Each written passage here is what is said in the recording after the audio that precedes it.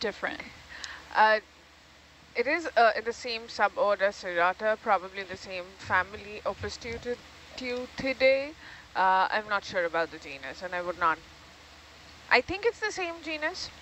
Uh, probably was a smaller sized individual, uh, but there are several genera, and I'm I'm not an expert in IDing cephalopod to to to a genus level.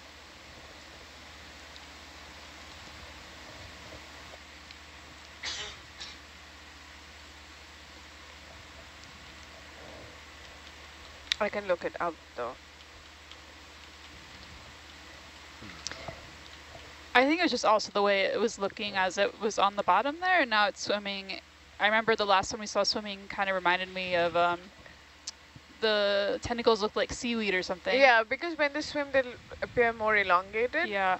Uh, and more streamlined. So that uh, probably when it starts swimming properly, properly, it will also have, it will definitely have that streamlined shape but because it's closer to the bottom and also sitting down, so it's spreading uh, its you tentacles can just more. hold that heading, Jacob. It's fine.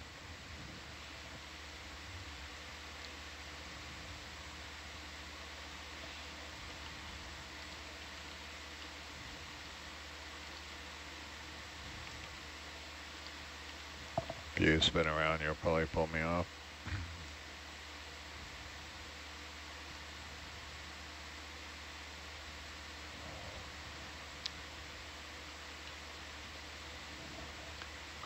All right, that's great coverage.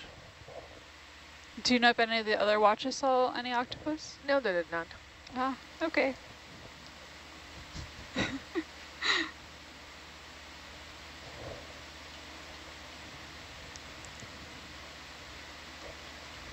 All right, are we good? Mm -hmm. All right, thank you very much. Front row. That's beautiful. Everyone ready? Yep. Yeah. You ready, Dan? It is a beautiful observation. Wow. I'm so happy it that is. we saw that.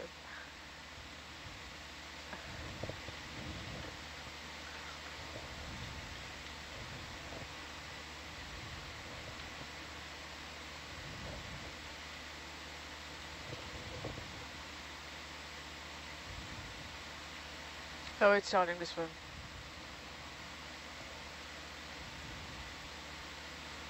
It's like flapping the fins to swim away, but also kind of looks like it's waving goodbye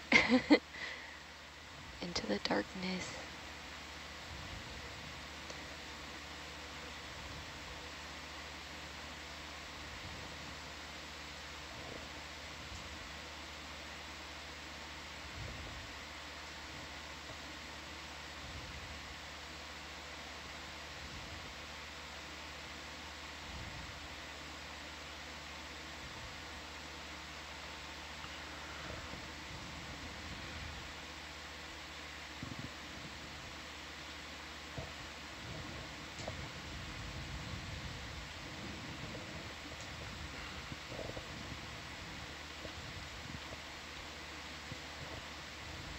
And just to finish off our recap after that wonderful interruption, um, this particular seamount, we're hoping okay. to get to the um, summit to see an area that we believe might have been impacted from past trawling activities. So as we explore, we're also looking at um, potential human impacts in this area.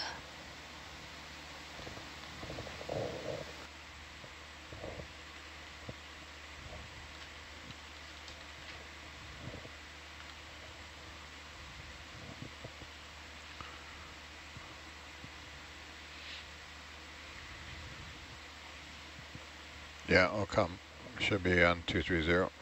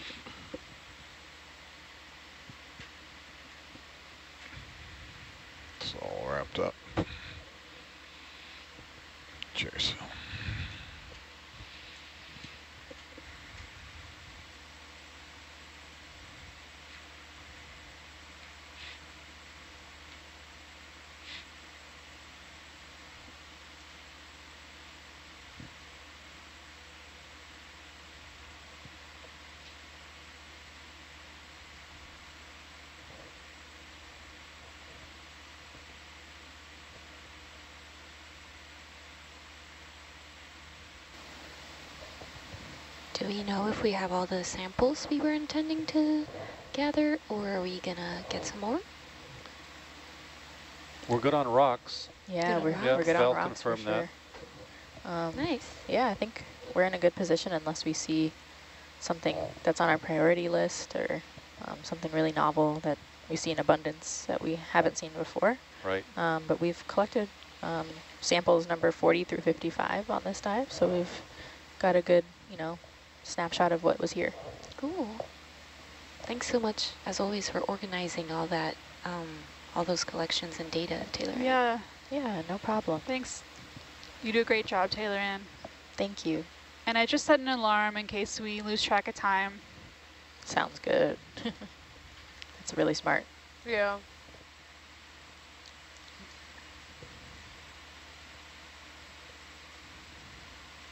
I don't know if you guys see this, but there's a big digital clock. I right yeah, in front of yeah, us. yeah, yes. I tend to ignore that clock unless I need it. Yeah, and also this is a watch which tends to ign- likes not to look at time sometimes. Yeah, we're seeing some uh, bamboo coral webs for sure. I'm still trying to get a better ID on the octopod that we saw. There are currently four genera in the family Opisthoteuthidae. Mm. I'm going to stumble every time I try to pronounce that. But I have been able to rule out one genus from the four. I'm still looking at three. Uh, That's a, a big start because they all look the same to me. no, uh, I could rule out one genus because there's only two species and one from New Zealand and one from South China Sea. And they're probably found in much shallower waters. So that helps. Tell me which which one of those two gauges drops first, the top left or the bottom right? What's that?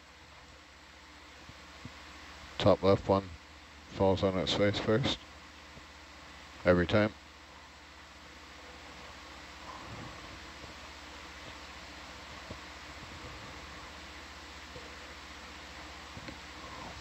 Cryptoteuthis? Uh, this is Opus tertius, Cryptoteuthis. Cryptoteo Cryptoteuthis? What's that? Yeah, and uh, Grimpoteuthis. Hmm. So I think it is the genus Grimpoteuthis, but can be Opisthoteuthis as well. I'm The trying top to ones get better Drop it first, for of the or are they exactly at the same time?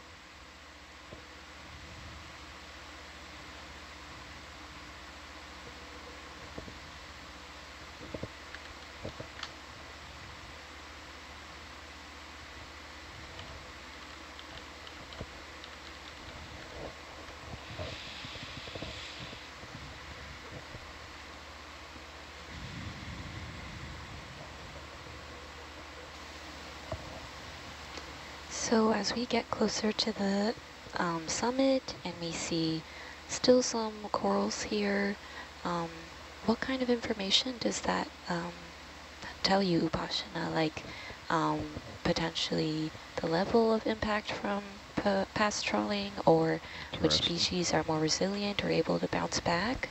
I know for at least our shallow water, um, like uh, habitat management, we try to consider uh, which species are most sensitive, which species are able to grow back quickly. Um, so is that kind of what we're thinking here? Or, um, yeah, just wondering what your Zoom thoughts are. if you want. Yeah, um, before I start, there was another sea star for me. Yeah. Yeah. Yeah. And uh, so obviously the impact of trawling or any kind of anthropogenic activity on the deep sea communities is much poorly studied and less uh, is a lesser uh, studied uh, field than the shallow water, uh, obviously because of the accessibility issue. Um, so what we are looking for is um, Okay. because we're on. on a rocky sub substrate, we can't look at uh, trawl marks, but broken down colonies or what? Uh, the, another one. Oh, yeah. There's another one. Oh Another, do you want me to hold the ship?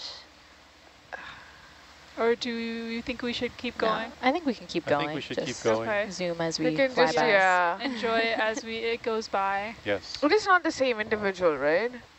I wouldn't think so. Definitely not the same. Oh, Oh.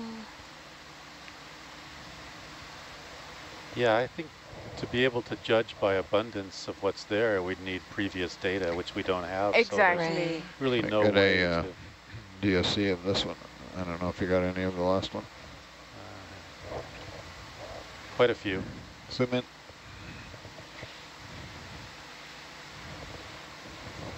Good.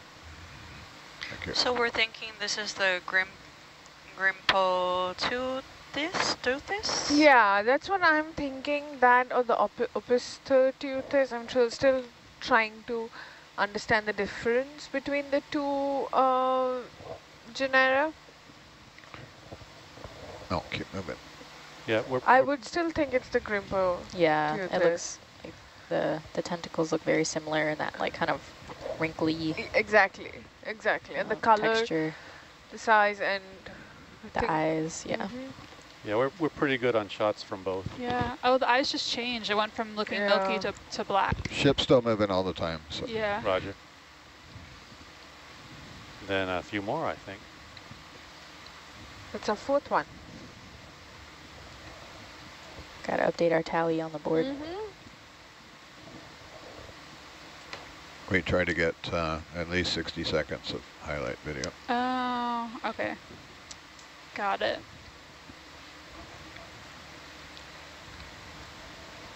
Yes, I would think that this is the genus Grimpoteuthis. Do these not camouflage themselves like other octopus? No, I don't think these uh, change colors so much. They can probably, I have to look it up. I have like Okay, can Not go wide, seen. nice and easy.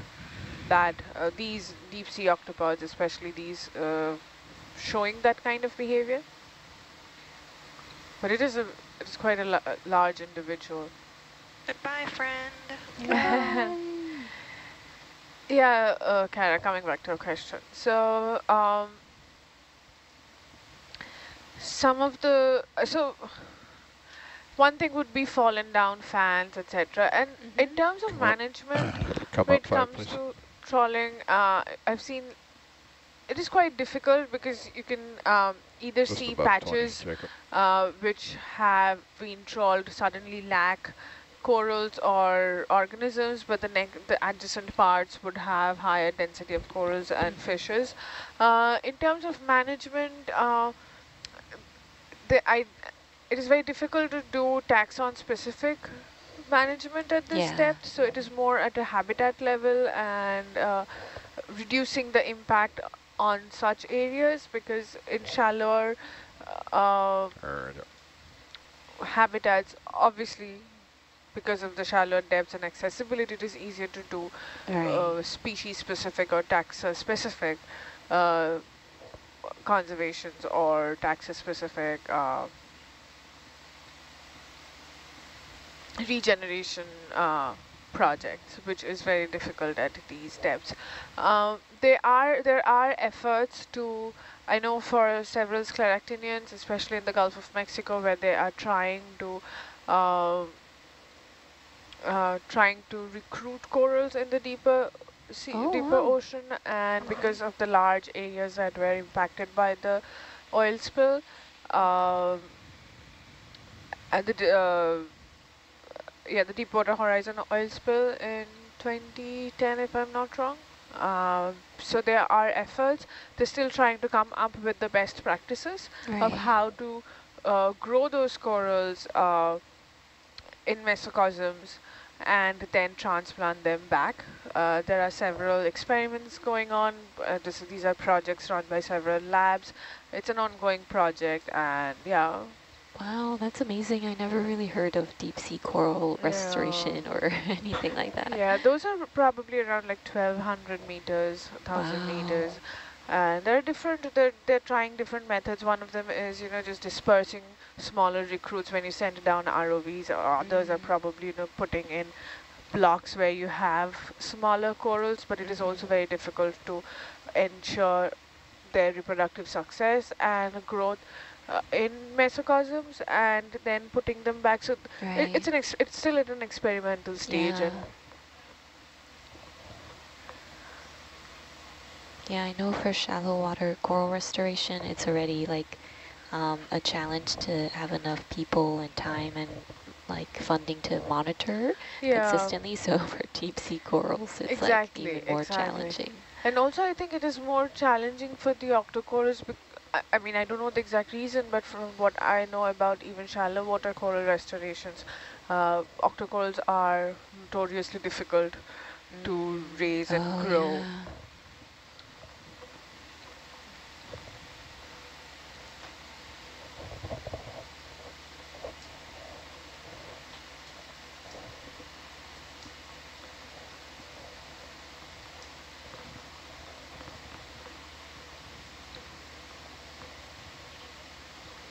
The terrain has definitely changed here a bit.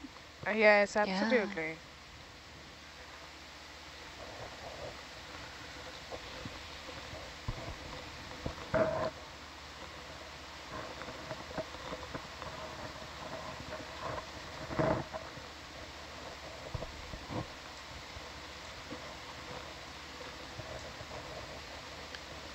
I guess one rough measure could be, you know, if we knew, if you could ballpark the age of some of the corals on prominent points in an area, and also be aware of when trawling happened here last. So that maybe would be, Yes, absolutely. If we have records of trawling, then it becomes easier uh, to understand that. And obviously, you won't see some of those large fans.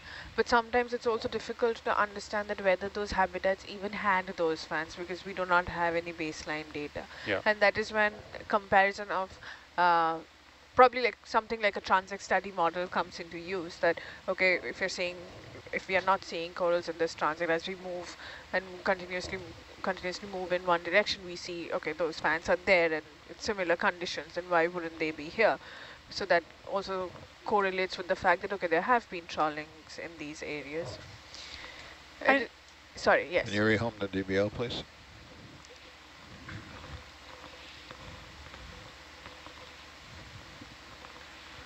Sea stars, brisingid, a rat tail.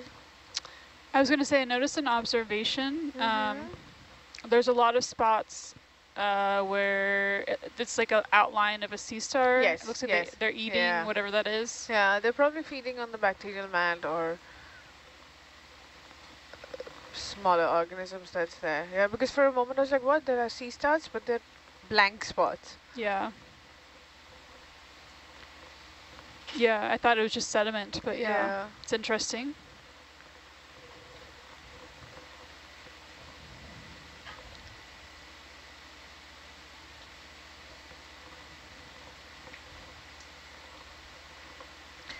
Corals in general are very slow growing, but when you take them in the deep seas, they even have a slower growth rate.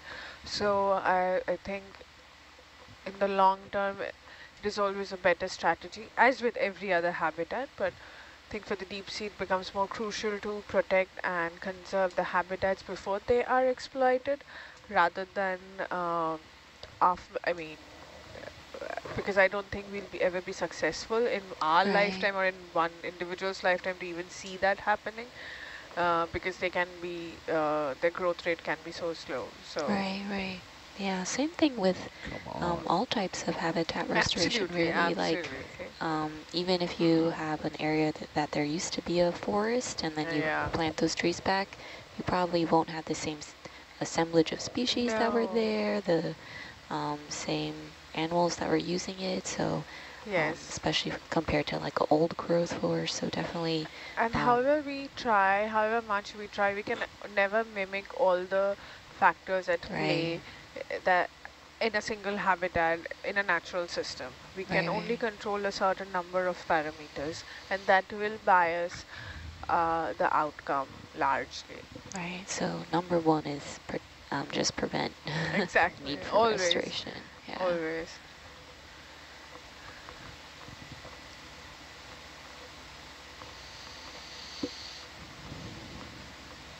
And one group that um, I was kind of uh, following and listening to their um, learning from them was the Deep Ocean Stewardship Initiative. Yes, yes. Um, they had a great, really great series of videos um, just for like, you know, introduction to the deep sea and all sorts of different basic topics. So I would definitely uh, recommend checking that out. Uh, if you want to learn more, the whole series is on YouTube, I believe. Yes. I think YouTube and they also have, I think, in podcast form and some other Yeah. platforms. I can check also.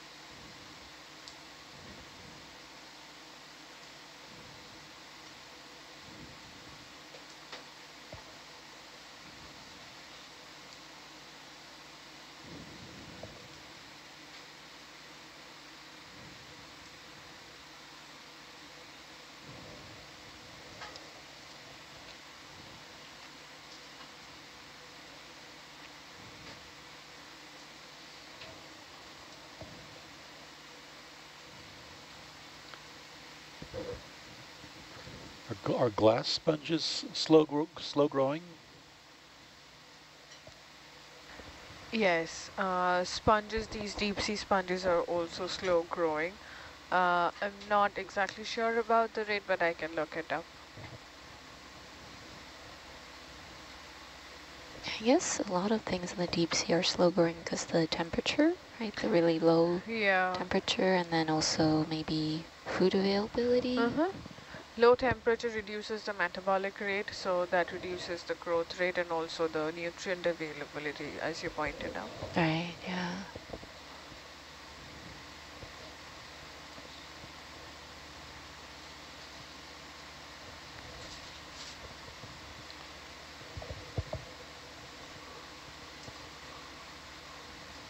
And thank you to our viewers from Italy, UK, uh, Japan, Germany, Canada, New Zealand, Korea, Hungary, Spain, Egypt, the Czech Republic, and Brazil. thank you so much for tuning in from all over the world uh, to come explore with us. It's been a really amazing dive and we're so glad we get to um, see all this beauty and learn so much um, all with you live. So um, if you're on YouTube, feel free to also check out nautiluslive.org if you want to enter any questions, um, see educational resources, uh, have links to our social media pages, um, or also uh, click on some of the other um, camera views, which are also available on YouTube. Yeah. Uh, we did notice our first octopus for this watch at least was um, actually noticed in the Atalanta view. Uh, so the view above Hercules, we noticed it swimming through that water. So definitely important to keep a eye out um, on all the cameras. it looked like there was a pipefish or, uh, mm. did you see that? Oh yeah, it's probably a Synaphobranchid eel or a the Halosaurus or Aldrovandia.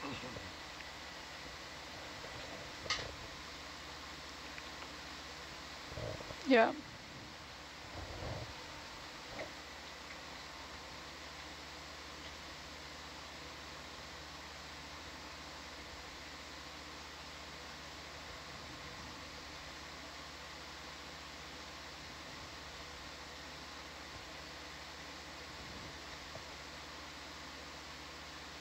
If anyone's unfamiliar with pipefish, they're relatives of um, seahorses, I believe, and they kind of look similar with that face of a seahorse, but then their body is um, like elongated and um, doesn't have that curved shape that a seahorse does, uh, hence the name pipefish.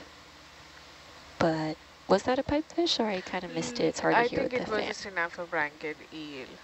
It was a what? Synaphobranchid eel. Is that a type of pipefish? okay, no. Is there a common name for that? Cutthroat eels. Okay, cutthroat, cutthroat eels, okay.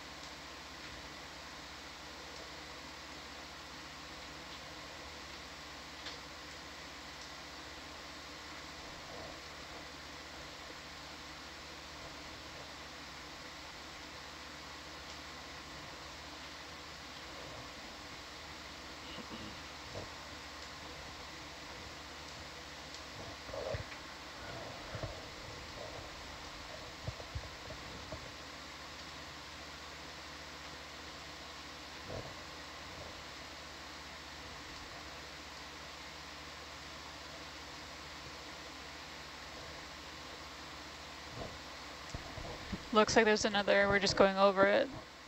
That eel thing you talked about. Oh, another cutthroat eel? I don't see it.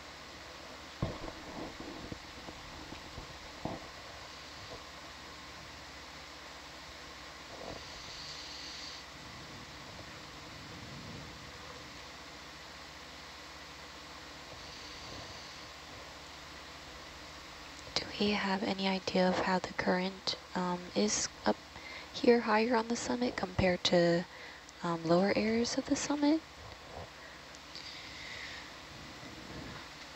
I'm not sure.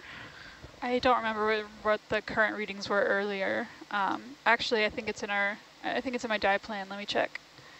Okay, and no pressure. I know um, you're navigating, so um, whenever you get a chance. We're basically just going in a line, so.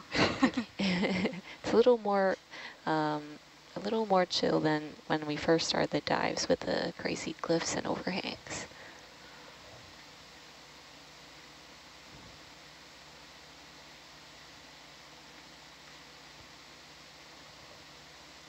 There's another pipefish or whatever down there. Let's see. The cutthroat eel. Looks like a Synaphobranchid, but we're too far away to actually ID it. But the shape Ooh. is definitely. Is that another huge Oh, yeah, that's that's a a sea so star. fat. It's very fat. There's some fish and a very chunky sea star. that is so big. Wow. Uh, I don't have it in here. Okay, no problem. Definitely a goniasterid. Has a little belly button.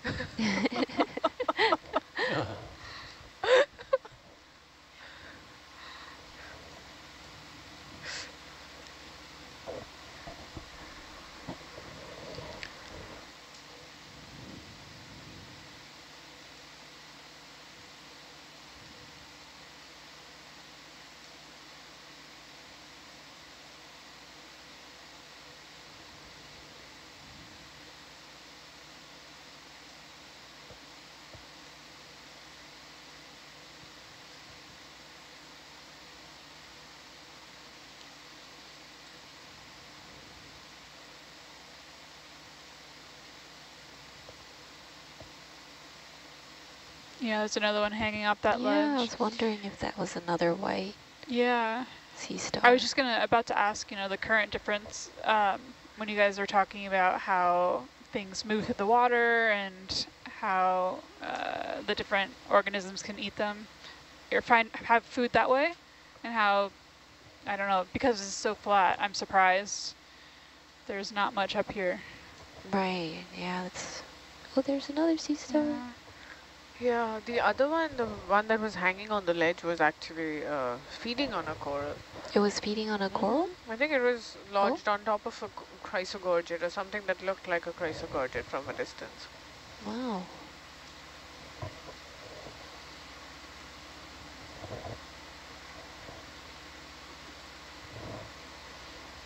Oh, I thought that was another octopus, but it's just a glass sponge. No offense to glass yeah, no offense to glass sponges.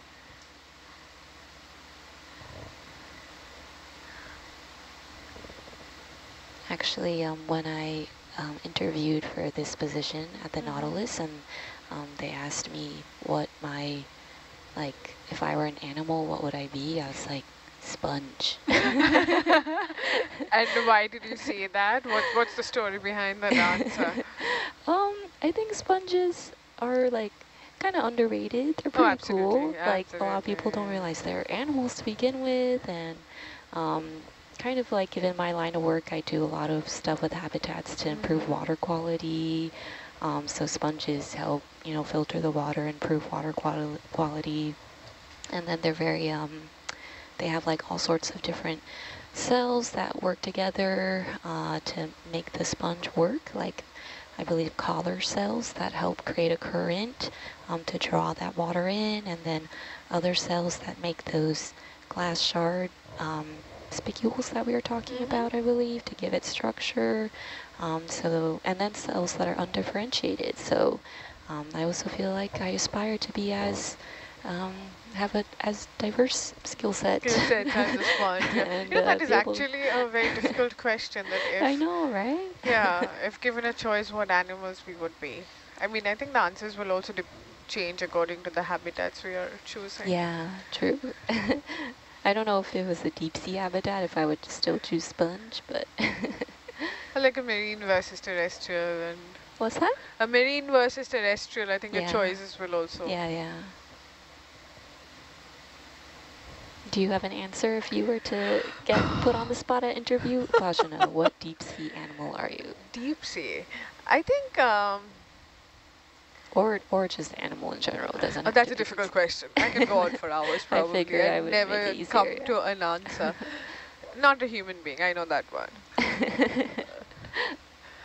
Deep sea. Uh, I wouldn't want to be a benthic organism I would want to be exploring. So something which is Mm, not yeah. benthic. Yeah.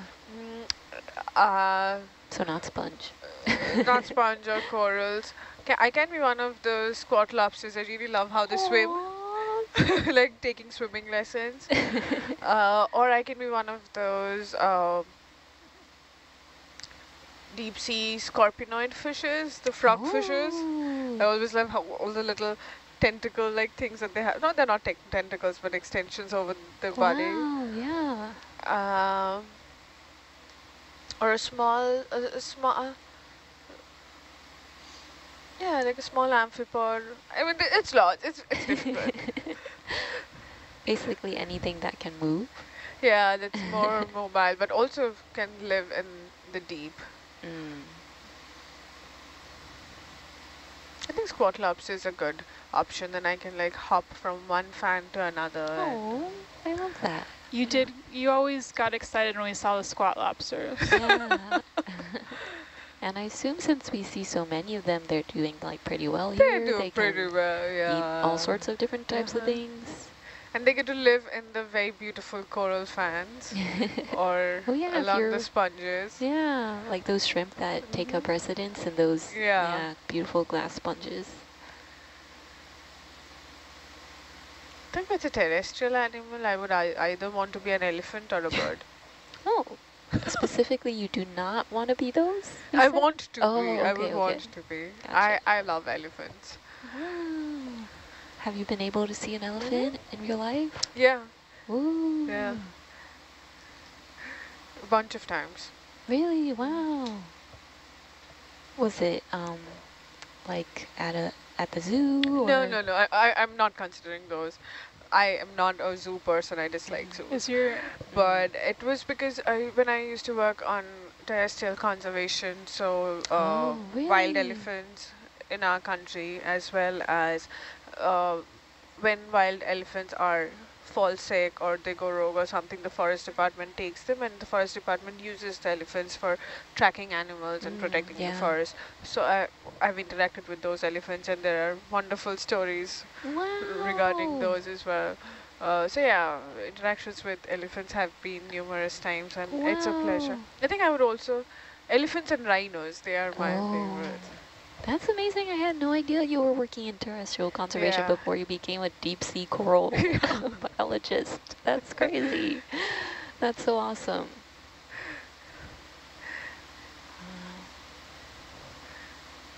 I can tell you guys those stories later. Yeah. I've been chased by rhinos oh multiple times. oh my times.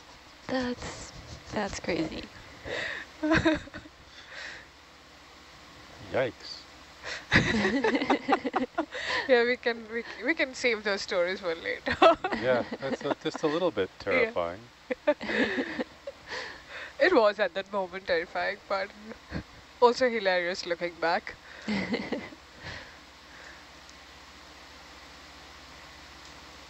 How about you, Hans? Do you have an animal that you would be? Deep sea oh, or I was afraid of that. Oh, everybody's going to be put on the spot Yeah. now. Not not in the ocean. No, No? Not in the ocean. No, no. Oh. I'm a mammal. Okay. No. I, uh, yeah, that's a good question. You know, camels are ships of the desert, wow. and they and they spit. So Cam uh, camels are also Okay. wonderful animals. I've worked with camels also, so it's they are lot- they are intriguing. It's got a lot going for it. I was totally not expecting like a desert animal to be your answer. It's a, But- sh well, it's a ship of the. There's a Yeah. maritime element to it. It's a Yeah. Maritime ship of the, Ship element. of the del- ship of the desert. desert. Oh, okay. they they are fascinating animals. Having Yeah. worked with them also, they are fascinating. And they can have they have beautiful personalities.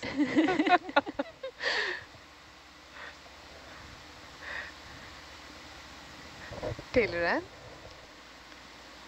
yeah. And we know you're busy, Taylor, so um Oh, it's okay. Um, deep sea animal.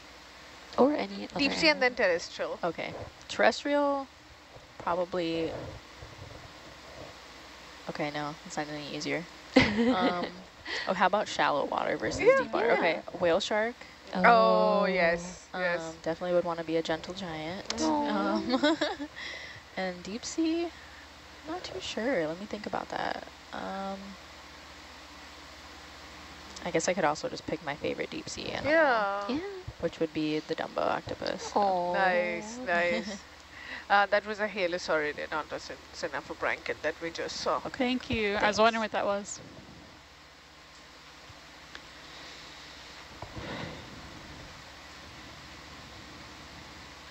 Yeah, being a squid that can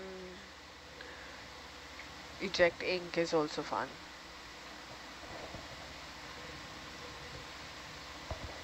Are there any cuttlefish in the deep sea? Or are they usually more shallow? Squids, uh, Or yeah, cuttle- cuttlefish. uh, yes, uh, yeah, squids. We have uh, deep sea squids, but I have to check the uh, depth distribution. They go deep.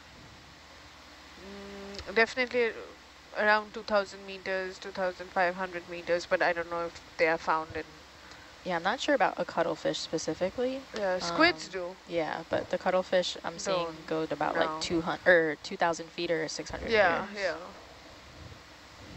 Squids are deep sea squids.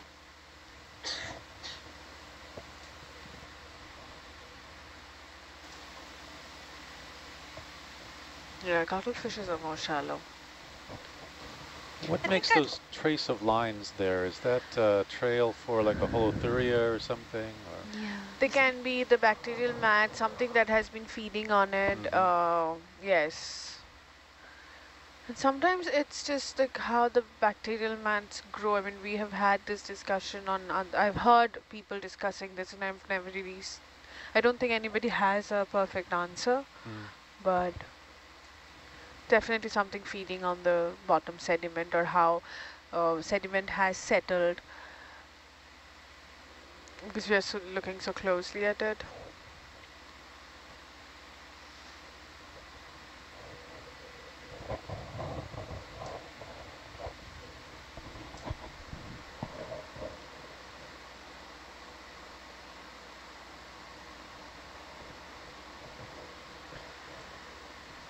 Interesting random Yeah. dark A dark piece of basalt or whatever. Yeah. A little Uh, island, so to say. Yeah, Uh, no, I think we can move on. yeah. I think thought. so. Thank you, Dan. For deep sea creatures, I think I'd like to be a jellyfish. Mm-hmm. Mostly water, no Mostly. thoughts. Just floating around. Just floating. No worries. And you could have that amazing um, bioluminescence. like, Yeah. Or one of the siphonophores also, you know, with the long Mm, tail that you can just... What about a terrestrial animal? Oh man, terrestrial animal? I think I'd like to be a house cat. that is actually fun. Live a good life. Yeah.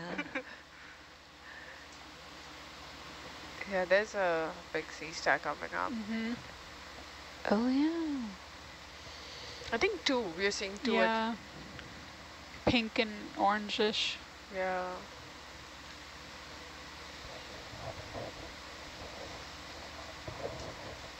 Really stands out in this landscape. Oh, there's Yeah. another one. Mm-hmm.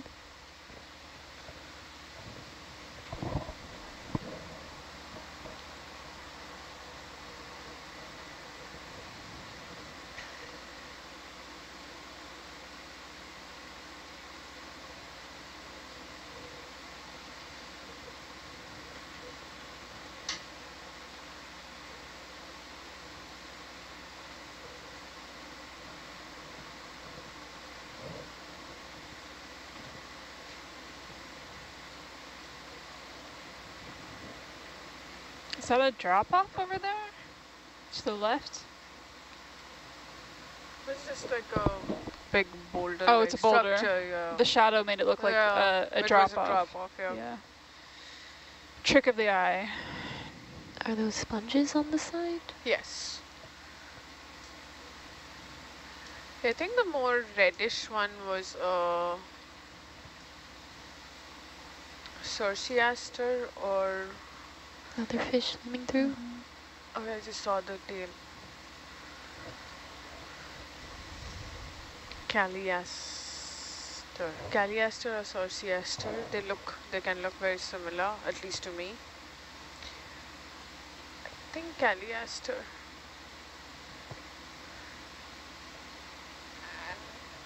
The more whitish one, it's difficult to ID.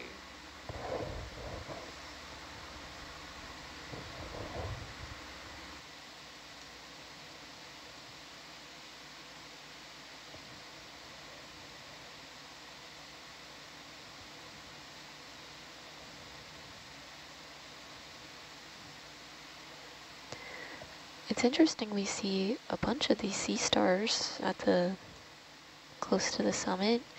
Um, any idea what they're eating?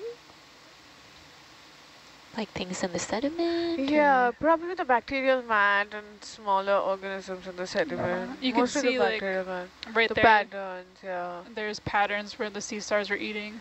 Yeah. Oh, there's like a like just blob a sea star snow angel. Yeah. I was thinking the same thing. Snow angel. Yeah, that that's actually a perfect description.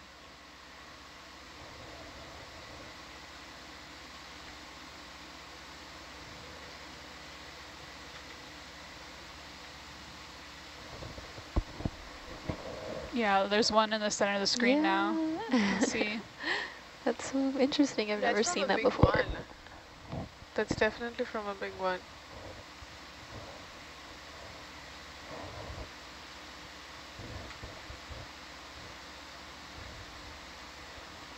Have you seen this before, Pashna? Like sea stars leaving? Oh, very cool. It's probably a bamboo coral that's coming up or a sponge stuff.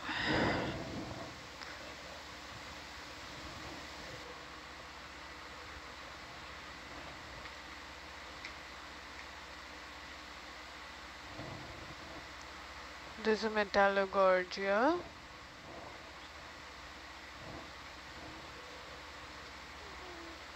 You're seeing some sponges all glass sponges, some bamboo whips, a horned-eared Venus flytrap anemone. Bridge nav.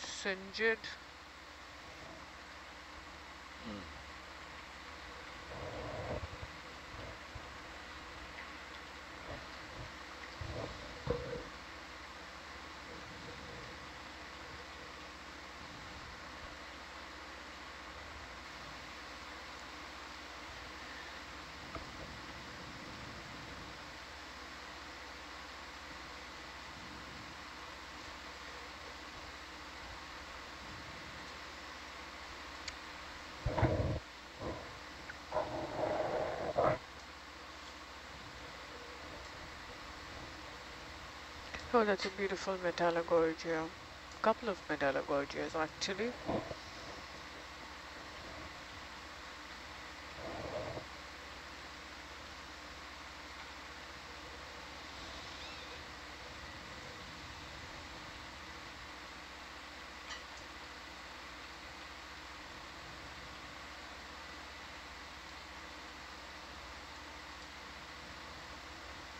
That's a big sea urchin on the seafloor.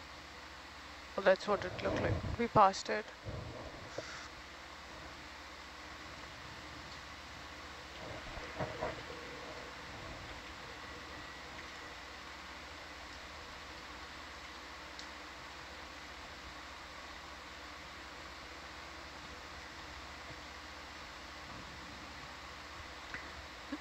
Looks like something moved, had moved in that corner. The boulders or something. There's an empty patch. Hmm.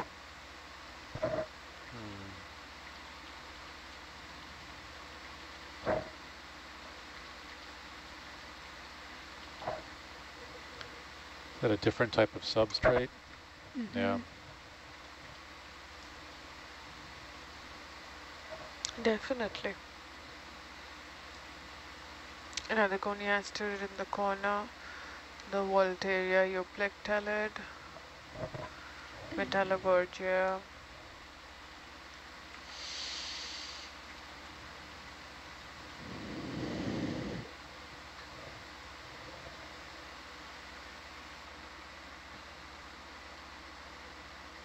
Chrysogorgia.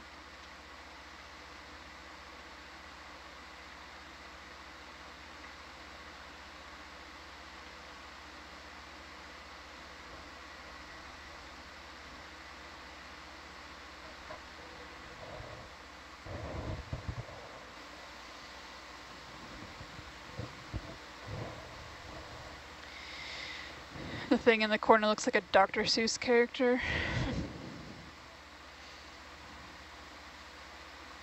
I'm seeing a hemicorallium that after a a- long time. The the like yellowish thing next to the sponge. The Is- the red stalk with the yellow yeah. fan on top. Is that a crinoid on something? Yeah, that's a crinoid on a hemicorallium. Mm. And also the Voltaria has folded in a very interesting manner. Th- It's so tall that it bent under its own. Yeah. Also looks kind of like Dr. Seuss vibes. yeah. But there's another Solastericista. Mhm.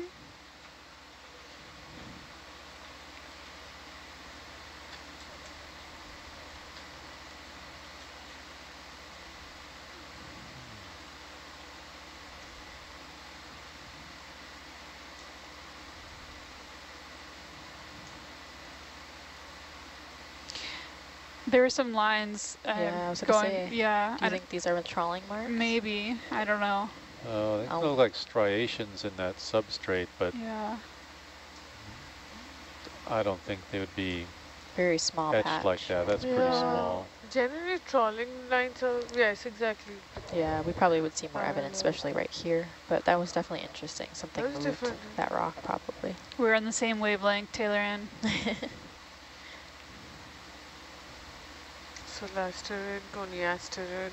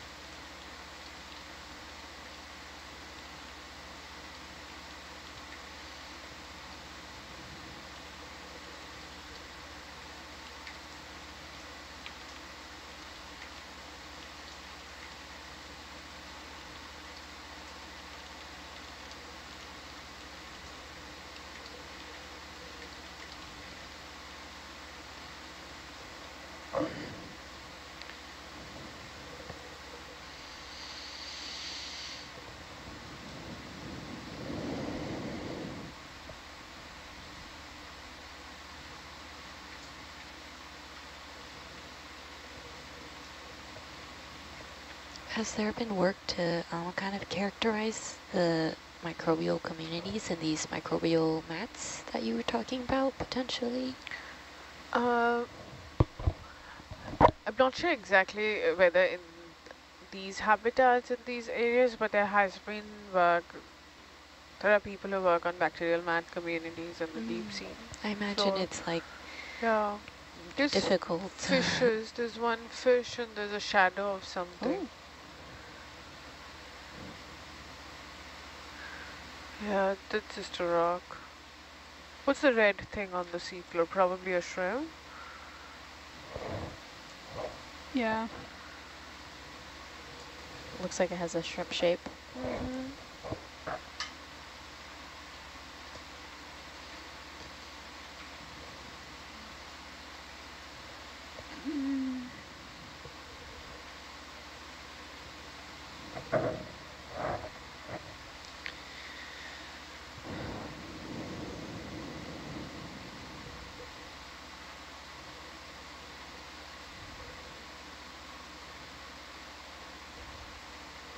And uh, for our viewers, we are um, trying to make it to our final waypoint at the summit.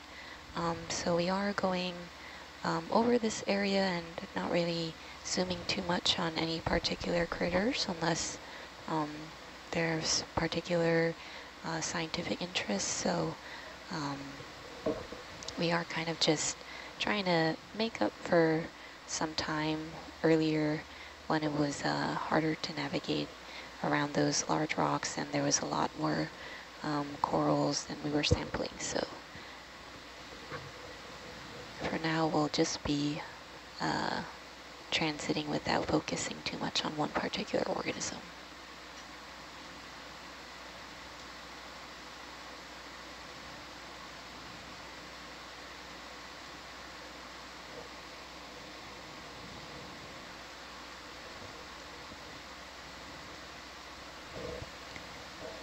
It's interesting how some of these um, basalt rocks look smooth, almost shiny like. Does anyone know why they look like that in comparison to like botryoidal, the grape like textured rock? I have no idea. Hans?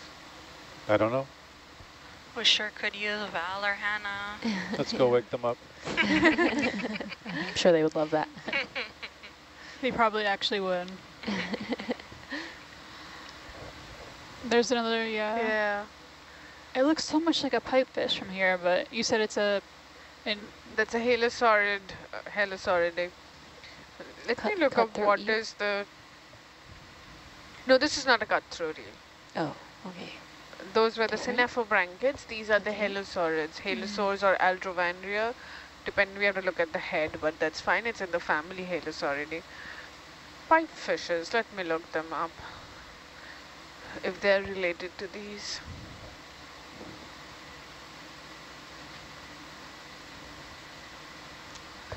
Or rather, I should say closely related to these, because everything is related. At some point, they're related. they're Mhm. both fish, bony fish, Mm. right? the largest group of So definitely. Actinopterygii. Uh, and also every organism is related.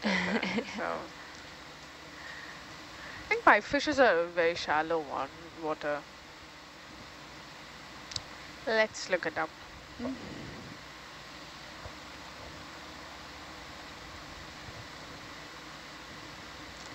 There's a really round pipe-looking thing right there, almost center screen. Oh, is that maybe a a dead sponge? Sponge, Yeah. yeah. There are some pretty big boulders around here. And, You know, we're not at the upper flats yet. I'm, I'm not a fisherman or a, a trawler captain, of course. I'd imagine they'd be hesitant to put their gear down into this area. You know, they would lose it. But if they don't know, because it's been unexplored, you know? Yeah, then uh, it, it's not the upper flats. There's Yeah. a cusk eel. The one that we just passed over. Yeah. I think there was another one that swam by, was about to say flew by. Yeah, pipefishes are shallow water fishes. And they're in a different order.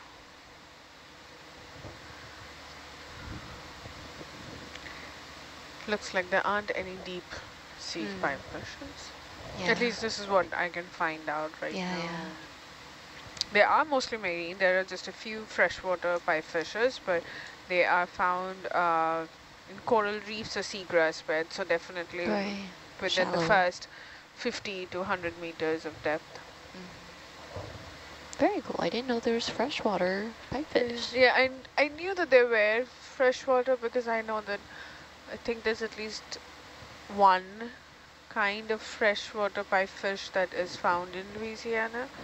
Oh, So- really? Wow. Cool. There may be more. I know that there freshwater pipefishes are found there. So at least one kind. Mhm. Don't know more. I wish I knew more about fishes.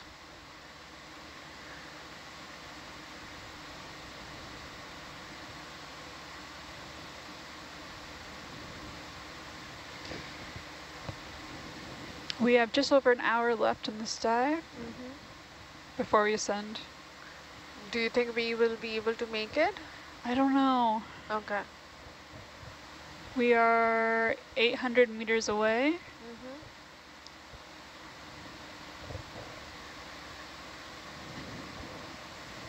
Are we moving at full speed? or? Uh, we're moving at 0.3 knots, so not insignificant. So we could potentially increase our speed a little, or no. I'm not sure if that's the objective to really yeah. reach that point and make sure we see that, or. Yeah.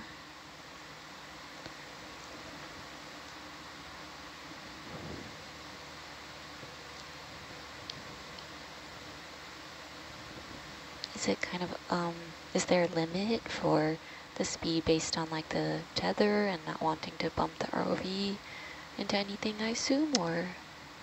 Yeah, and uh, that would be a Dan question. He has SPL off. Mm. Or Jake. What's the question? Uh, they were asking about speed limits for ROVs being safe. It depends. Depends on uh, mostly the bathymetry. Mm.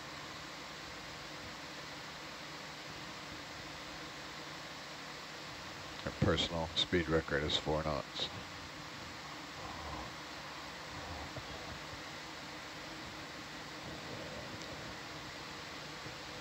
Four, not 0 0.4? No, four knots. Four knots. That's impressive. Oh, wow. But uh, most um, average ROV speed is uh, 0.25 meters a second or half a knot. Depends on what you're doing. For a transect like this, they like to do uh, 0.3 for uh, just a slow, even speed so they can count all the... Yeah. The grad students counting everything. Yeah. If you're annotating video, this is a kind of ideal speed.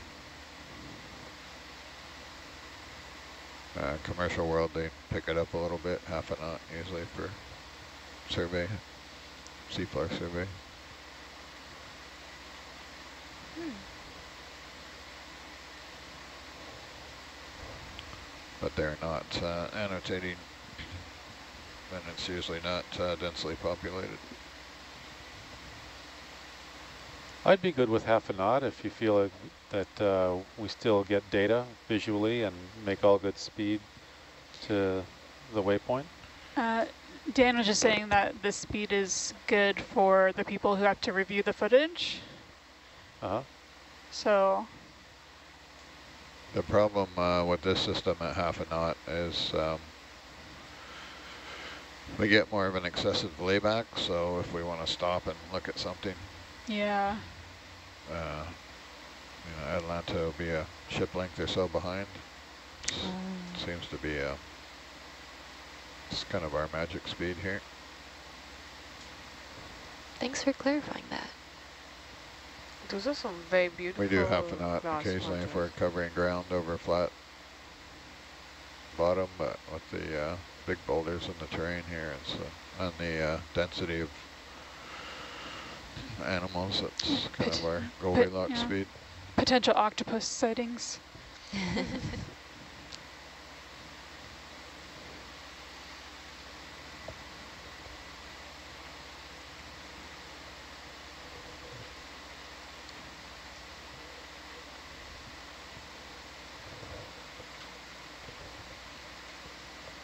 Well, uh, how far is the waypoint?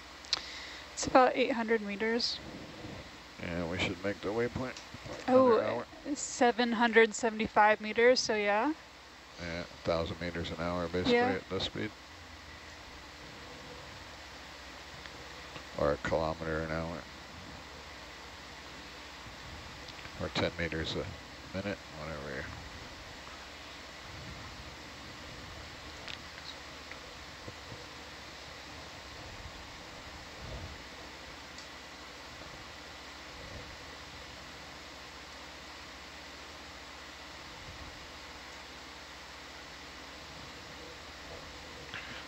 Nautilus has an eclectic mix of metric and imperial Hmm. pound meters. Yeah.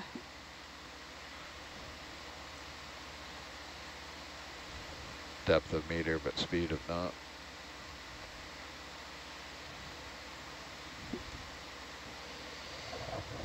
Tried to get them to switch over to meters per second, but they have, or meters per minute. Winch reads in meters per minute, so Yeah, that'd be nice if you had the same. The same units. sort Yeah. yeah, it makes it a little easier A lot easier. thing. More, a lot more rise over convenient. if you're not using two different.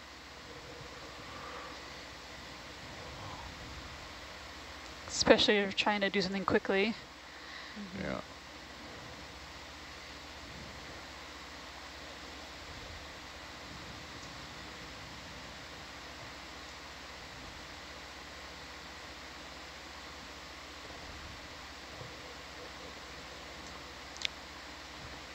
Another one of the Cascades. No, no, not Cascade. That's a Halosaurid.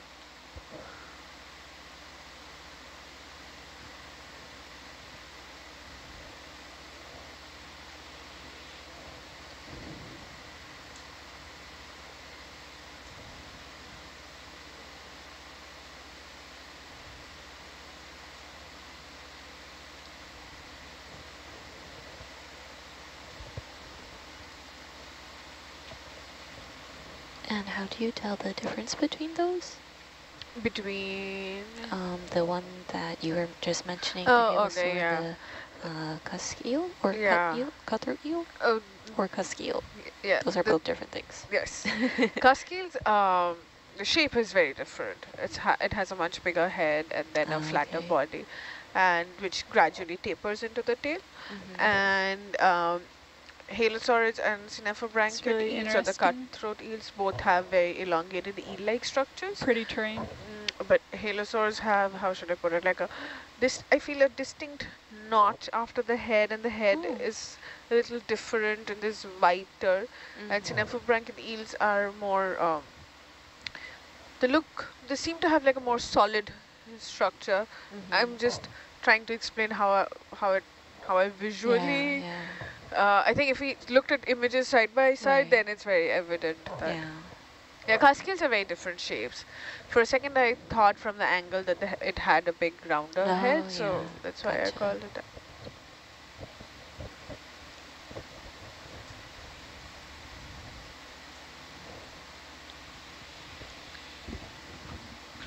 This speed also allows the, over terrain like this, it allows the DVL and the autos to compensate. If we were going faster, we would have hit That's the a, rock. yeah, that's a beautiful good. Brisingid in a basket style. There's sponges, we are seeing more sponges.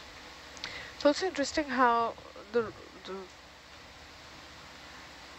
the rocks over there have the pattern, like as if it's The striated these are- patterns, Striate- Are these sheet substrate. flows? Or Yeah, that's very interesting. probably sheet flows. I don't know. We'd need a geologist. You know, I can always make wild guesses, but that's more dangerous than anything else. I mean, here's a wild guess. At some point, the plume has to push up underneath the oceanic Yes. plate, right? So the oceanic plate is very much older Yes. than the initial magma plume. Mm-hmm. The oceanic plate can be compressed sediments, even uh, calcareous sedimentary rocks or something like that. And I would wonder if some of those older sediments remained at near the top of the Yeah, of the of the plume and just got carried up and then carried up. covered yeah. over with flows, Hmm. extrusive flows, but nonetheless the the old plate pieces are there. But that is just a dangerously wild stab in the dark. Sounds logical. And also it reminded me of how, you know, uh, block mountains look like hmm when they move. So it kind of reminded me of that. pattern. Yeah, with, with strata and The with, strata, um, yeah. But again,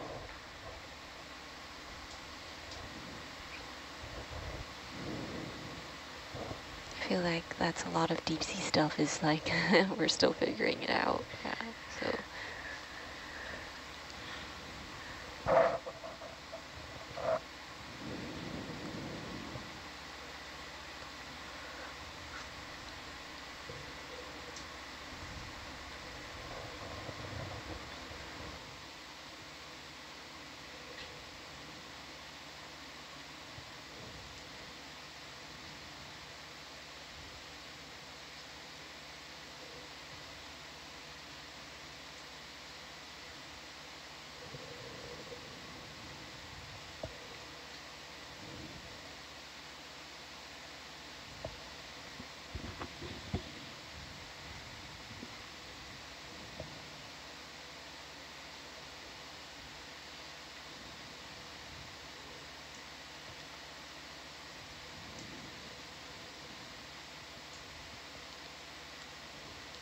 Terry Kirby in the Pisces subs always called these things carbonate rocks. Carbonate boulders. Hmm. And who was that, um, that you just mentioned? Terry Kirby? Hmm. He was you- the um, operations director and senior pilot for the Pisces submersible program. Oh. I just yeah. When we were when we got back to shore from my mapping transit, John Smith was on our. His name is John Smith. Uh, was on uh, our watch, and he showed us the Pisces one and two. On land, not underwater. Pisces 4 and 5? uh, I think it was one and two. Four and five, Four, five? the ones There- in the hangar there. Yeah, there were a bunch of Pisces submersibles built back in the 80s. Wow. Well, a bunch, not many, but I think he said they're for sale if you're interested.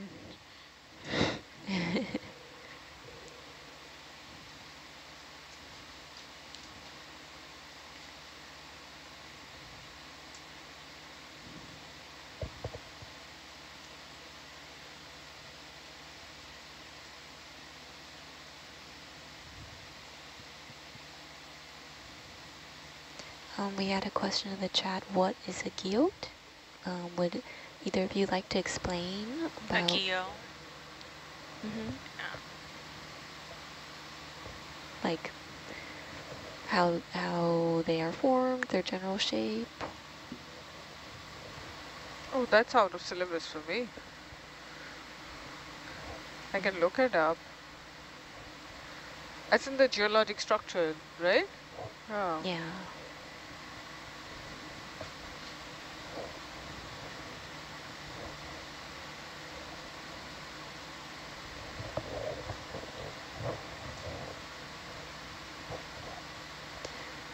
Believe generally guyots are um, seamounts that have a flattened top. Mhm. So um, kind of like if you're imagining like a plateau. Yeah. Yeah, underwater volcanic mountain with a flat top. Yeah, seems like a, un yeah, you're right, underwater plateau. That's how it seems like.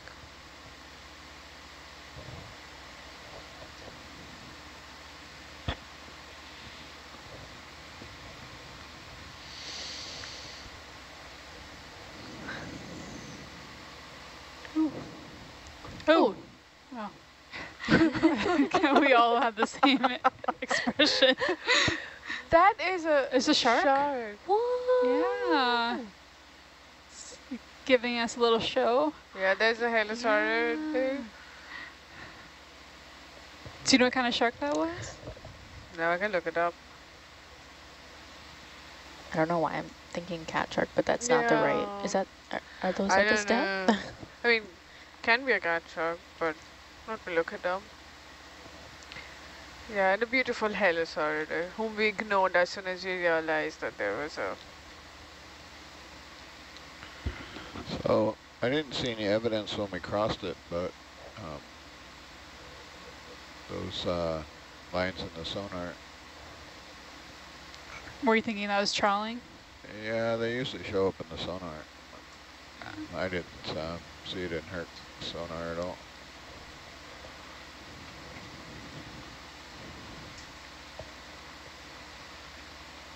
Might just be a anomaly with the bathymetry. They're usually pretty distinct in the sonar.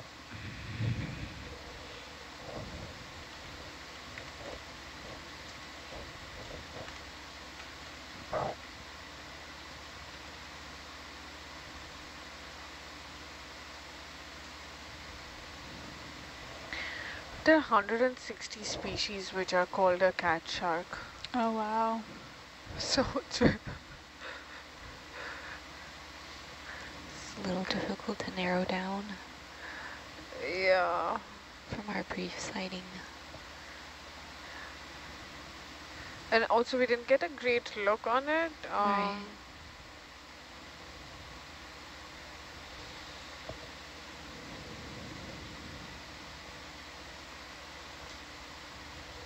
And also I think for a lot of them need to have like a size reference, as approximate size. So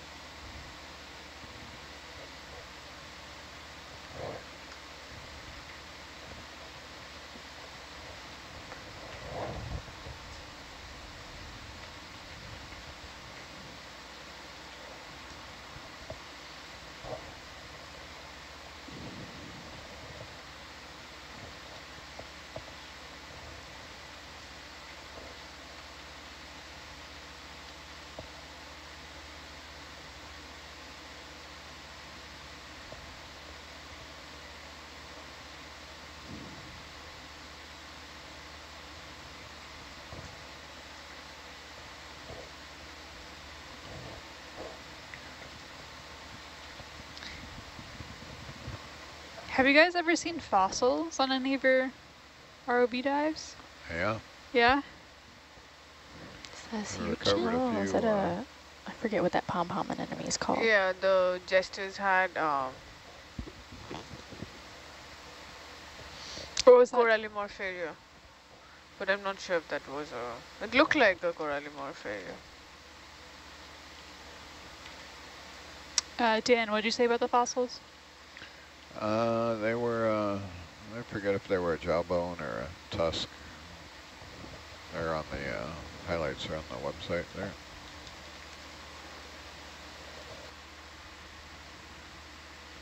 Was uh, that the whale beak? Yeah, the whale beak. Yeah, that was pretty yes, cool. Yeah. yeah, we got confirmation um, from Tina that that was a pom-pom anemone. Yeah, so Corallimorpharia. I don't think that's a corallimorph. That is what's called the pom-pom. No, pom-pom's a different one? Yeah, I think it's different.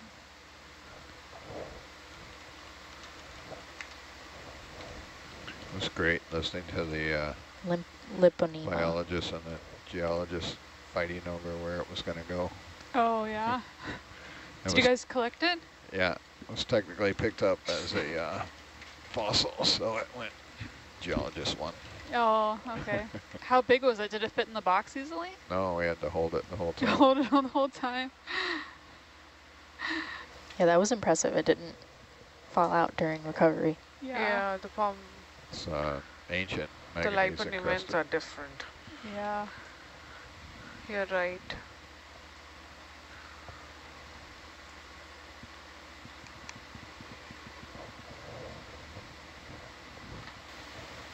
And just to add on to your question, Mia, I believe um, they also found a megalodon tooth. Oh, wow. Fossilized megalodon tooth um, last year in 2022 uh, during their expedition to the um, Johnston Atoll. Mm.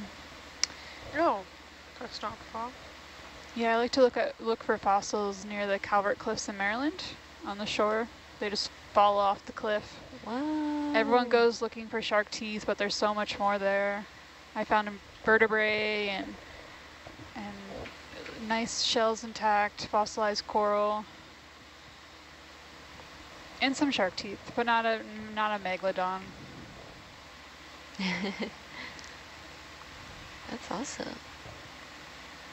That's such a diversity of different kinds of fossils in one spot. Yeah, no, you can literally look at the cliff and just falling. The whole cliff is just fossils.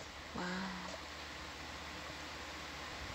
I really, yeah, I think these are sheet flows, if I remember from Geology. my my past time sitting in the van with ge geologists. Okay, but That's I great. could be wrong. We're less than 600 meters, guys. Ooh, that's Dang. fine. Yeah, the, Did you say sheet flows? yeah, yeah, like a like a bed sheet. Yeah, Yeah. yeah. Yeah, I think uh, when I was covering a lunch shift earlier, Hannah was saying that the sheet flows are the ones that um, flow really quickly, and yes. then the pillow flows are the slower ones. Uh,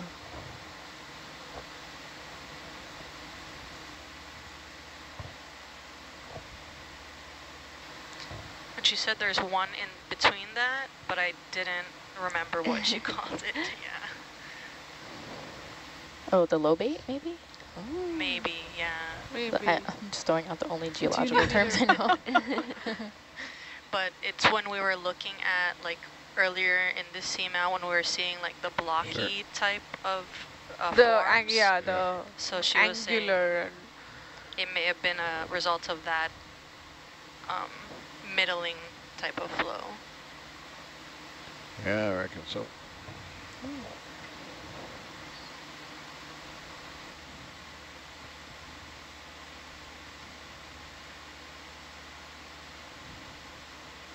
Yeah, I think that's one of the best things about Nautilus is just being able to um, have lunch with someone and learn about all sorts of different topics. I definitely still have to, on the top of my list, Upashana is hearing your rhino story. there's, a, there's also um, a comment from the viewers saying like, you can't trust drop, drop that in and not tell us the story. So definitely looking forward to that. weirdly. We'll we'll do we'll share I'll share those on one of the transit days. yeah.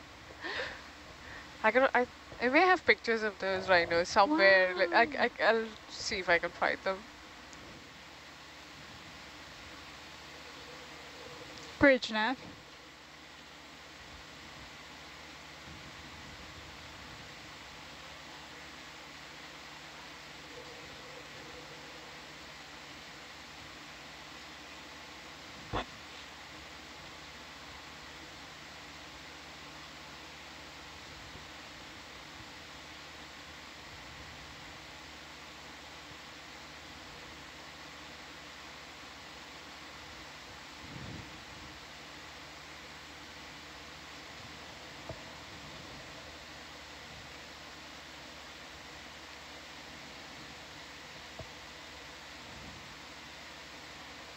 Ooh, there's a big sea star.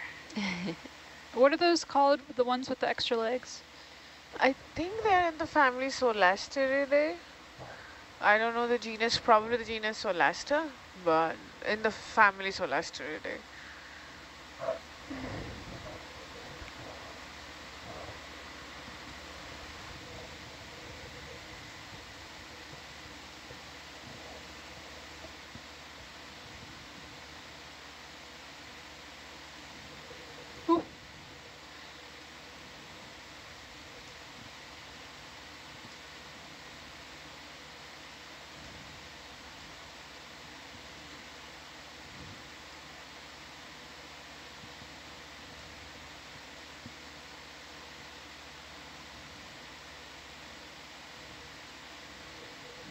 Yeah, looks like this is going to be a little slightly steeper.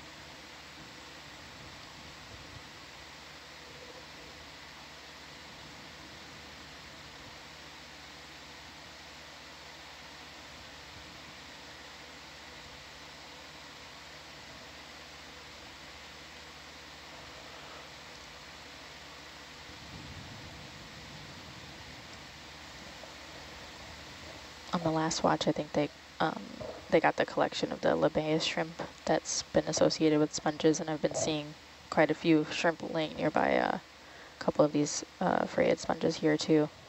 Mm. So that's considered one of the more like novel um, interactions? Yeah, I think typically we see shrimp associated with different coral species, and mm. so we have a biologist interested in studying the association between the shrimp and sponges. Mm. Um, that is Mary Wickets, Wickets Wicksten at T Texas A&M, uh, interested in studying that. Very cool.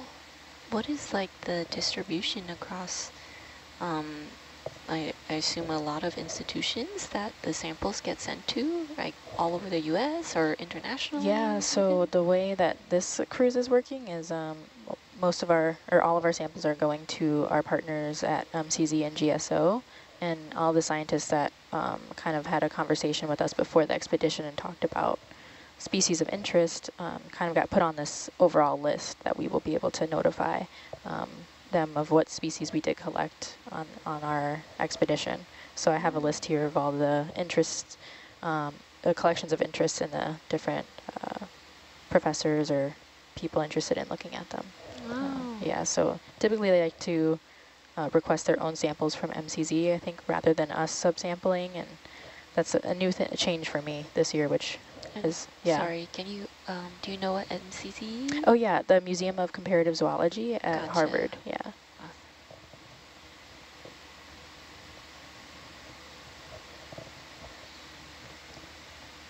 Yeah, for any viewers curious, we have very um, specific sampling protocols. Um, we're not just taking um, anything that we see. Um, we're really focusing on um, biological collections that are going to help our understanding of the range of these organisms if it's like a new um, sighting in this particular place, um, potential novel associations like we just talked about, uh, better improved understanding of interactions between organisms, um, possible new species, but we also um, do not collect if we only see one of those.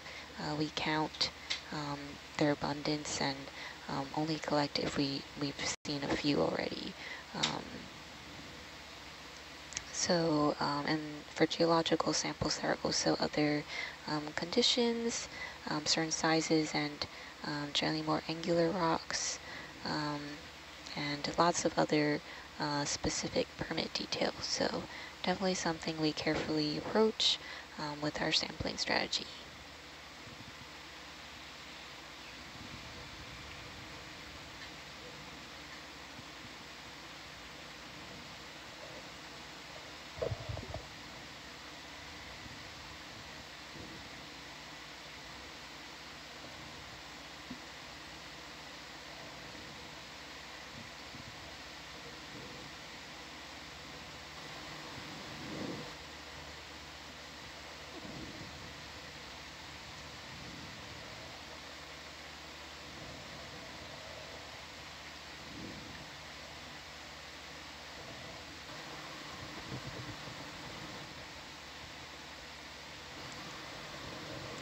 So Taylor Ann, do the all the samples, you're saying all the samples we collect on these voyages eventually um, live at at MCZ or? Um, yeah, yeah. Okay. Um, I forget what GSO stands for, geological, some repository, but that's the other place we're sending the geological okay. samples. And yeah, um, so usually uh, the, those samples will, yeah, just live there at the museum. And if scientists want to do research on them, they can um, put in a request. So there's like a our sample ID number that we have, and then MCZ will create their own like catalog number um, that scientists can use to request a portion of that sample.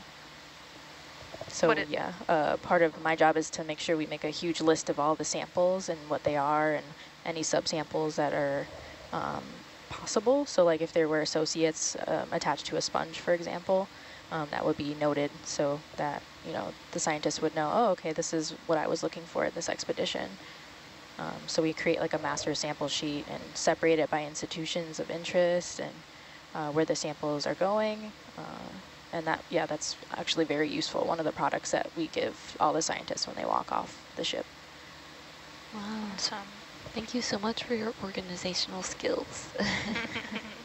yeah, it was a really great system set up uh, before I got here. So yeah, it works really well.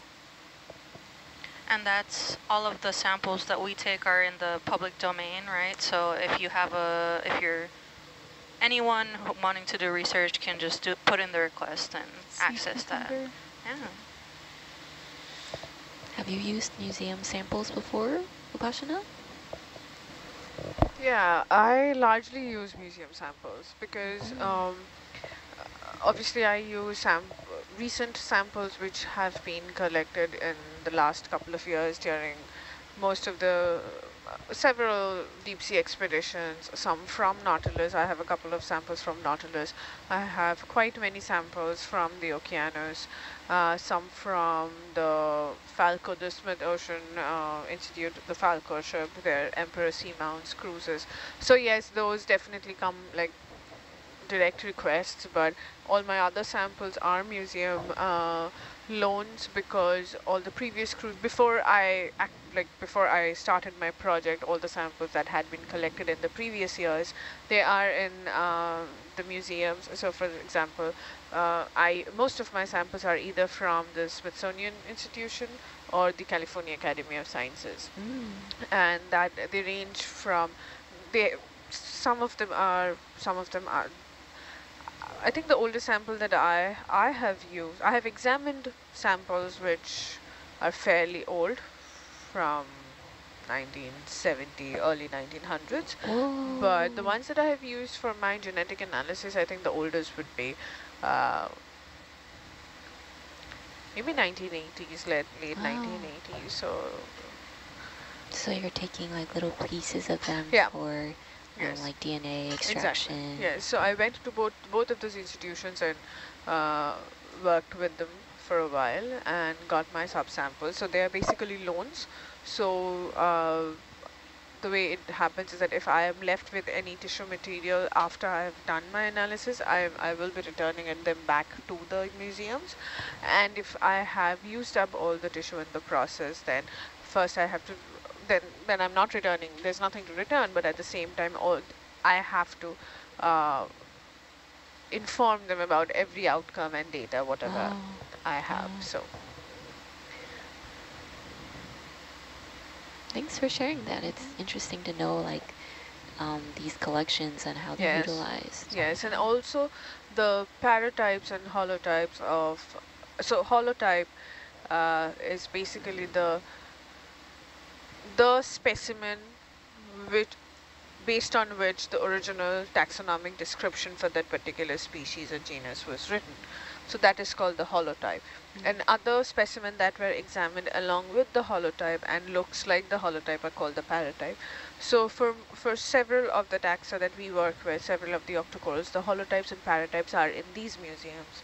So we can all, so if they're very old paratypes or holotypes, then, and because of preservation methods, different preservation methods also, we cannot take subsamples anymore from them, but we can always examine them. So it is mm -hmm. also a good practice. So it, I mean, while I was at both of these uh, institutions, uh, if I brought back, say, 50 samples, I'm, give, I'm just giving a random number, I have uh, studied maybe over 100 to look at the morphology, to study the morphology. So it is a very uh, enriching experience to be in these museums and going through their collection and also a very exciting process because you get to see the like hundreds and hundreds of collection you're going through the cabinets pulling them out it's like a uh, it's like a mystery that you're trying to solve yeah. and it's like a treasure trove that you're going through. I imagine so, there's yeah. all sorts of like jars of Oh yeah, absolutely. Of, like what is that? like a kid in a candy store. Yeah. Except it's like preserved. so that's how I felt when I went uh, looking at the different maps in the Library of Congress because yeah. there were so many that weren't even cataloged. Exactly. So there's, you know, mystery. Just went through a bunch of them.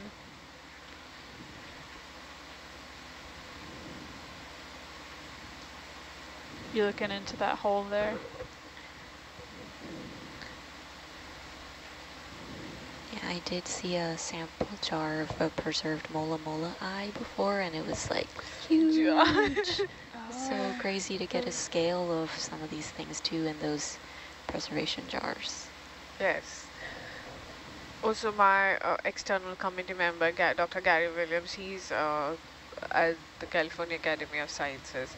So that was also an advantage that while I was here, I got to work with him closely and learn a lot about sea pens from him.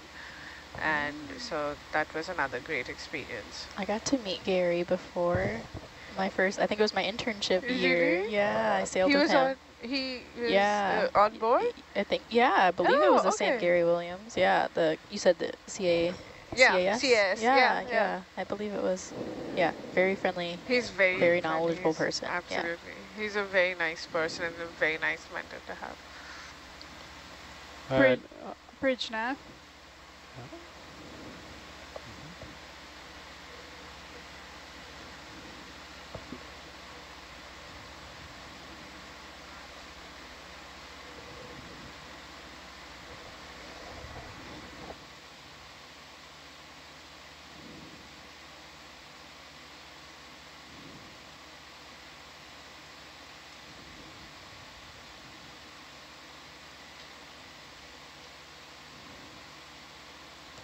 Is there um, a particular mentor that um, like has really helped you before? And I know like when we're talking about like careers and Ocean Exploration Trust especially likes to um, like showcase people's journeys. So um, is there a particular mentor that um, has helped you like really uh, get where you are now? Yeah, so if it is about the deep sea and the kind of work that I currently do, it would definitely, I mean, I have had a great experience working with my advisor, Dr. Scott France, and uh, yes, it has been a very exciting and enriching and a, it's a very, it has been a very wholesome journey, and I think I en I enjoy working with him. I we have a great lab. Everybody in the lab uh, it's a great working culture that we have. So it, that it, that experience itself has helped me a lot. Nice. And um, I mean, there are several other people. Obviously, I'm, if I'm talking about my graduate journey, and even before that, uh, like back in India, especially working. I remember. I mean, I'm still very much in contact with, but one of my mentors there, he has been. Um, he has been a mentor in every sense and is one of the people that I always bounce use uses a you know a sounding board and I can sit down and discuss about work even though we currently work on very different uh, fields and ideas but it's a person that I can always you know have a discussion about work and be like okay does this sound logical and has um, has been a mentor in as many ways as possible. Like, Oh, that's awesome. yeah, but Yeah. That's a pretty interesting boulder. very interesting. Yeah, there's a squat lobster up there for you. Yeah. It's waving its waving at you. Don't miss the boulder. Come on.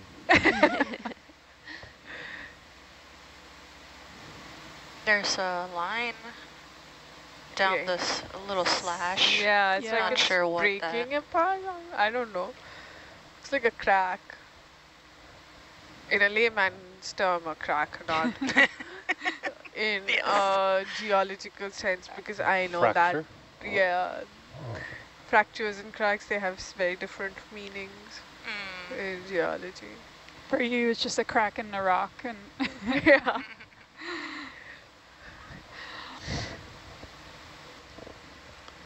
Yeah, I know what you mean, Mia. For me, it's the box pulls at the National Archives.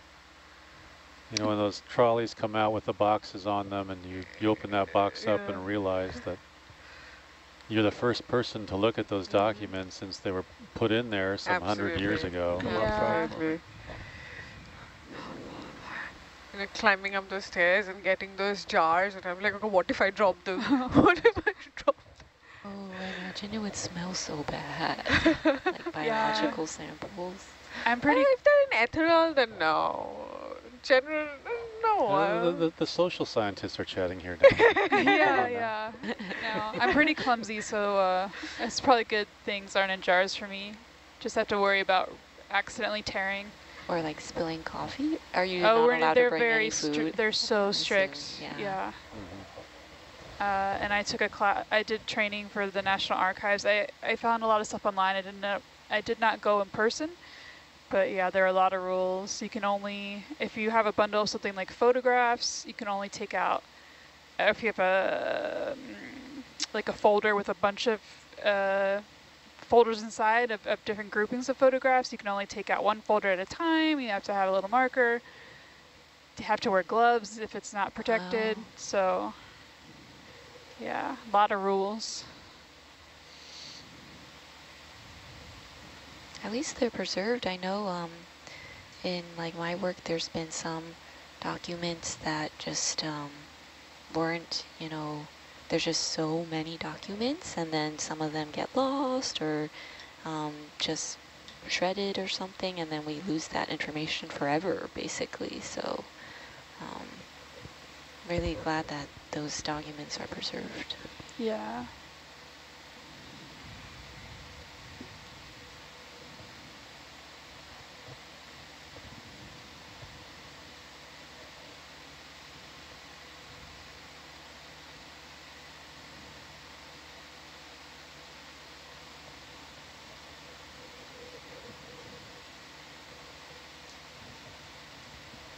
Hans, in your history work, were there any like particular documents that you were really amazed to find and be able to work with? Yeah, pretty much all of them.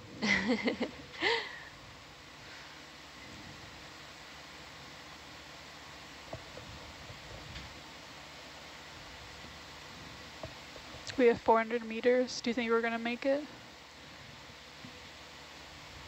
Yeah, another hour.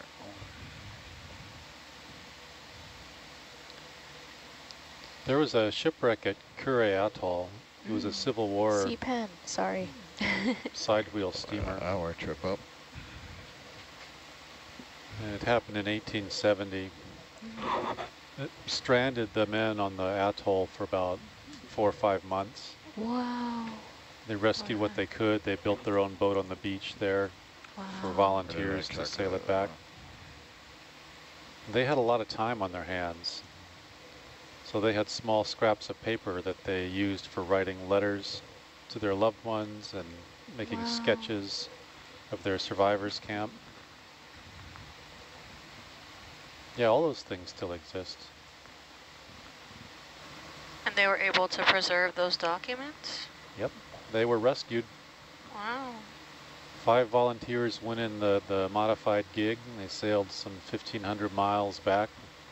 They were so emaciated when they made it to Kauai that the boat rolled in the surf. and Four of them died. Oh, Oh, last- no. It, That's a terrible. it was a long, Sorry, it was on. a long time ago, people. you know, it's, it's okay, but uh, yeah, and the last one carried the word to the the kingdom, and uh, the, the king sent a steamer up to pick them up. I mean, I think just to make it that far and then um, four of them pass away close, so close to the finish line is a, Yeah. yeah.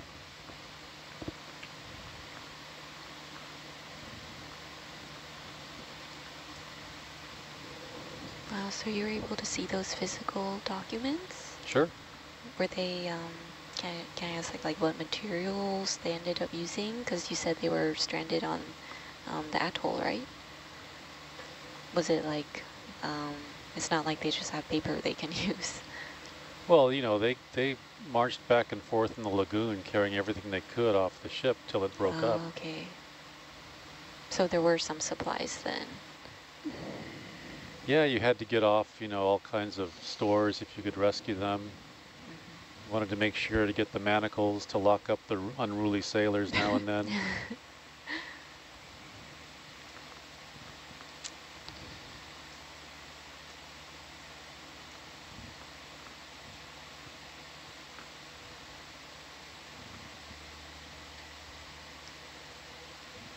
So a question for the front row for, for off the bottom, is that something Daniel comes up for, or is that something that uh, you guys just instigate and do at the proper time? I think, I mean, we just kind of talk it over. I, I know previously they've they've had times slotted, but you know they said they want us to get up by four, and then we can do a little math to figure out how long it's going to take. Okay, so on deck by four. Roger, on deck at four. It's probably about a 50 minute, one hour ride up. Okay, sounds good.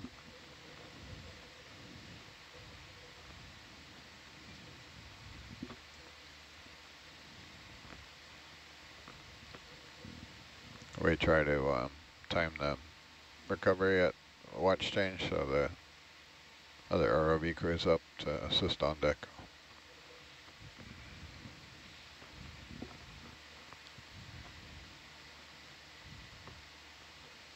In the oncoming uh, watch. Makes sense.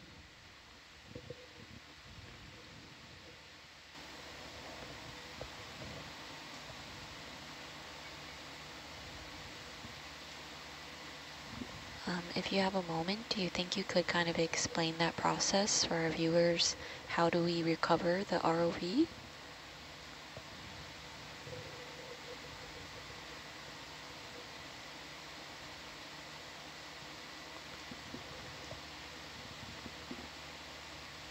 Did you hear that, Dan?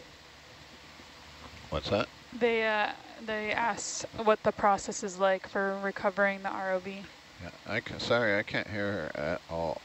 It's very faint voice in the background. Sounds like you're standing across the room.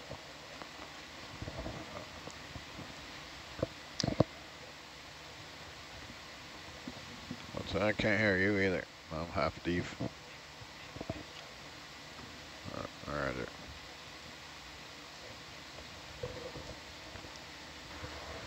It looks like another shark, or at least a the elasmobranch. Oh, in the Atalanta well, view?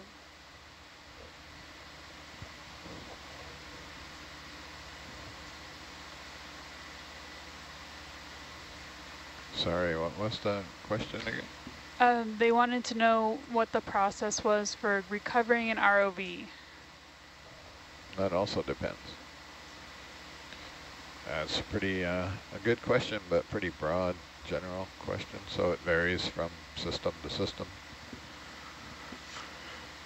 For Nautilus, it's um, we first recover Atalanta through the A-frame onto the back deck, and then um, there's a lift line that's married to our tether, and we uh, separate that and attach that to the crane and then uh, fly Hercules around to the port side of the vessel and snatch it up with the crane into a, a sway limiter and then swing it on, on board and stick it in its uh, cradle.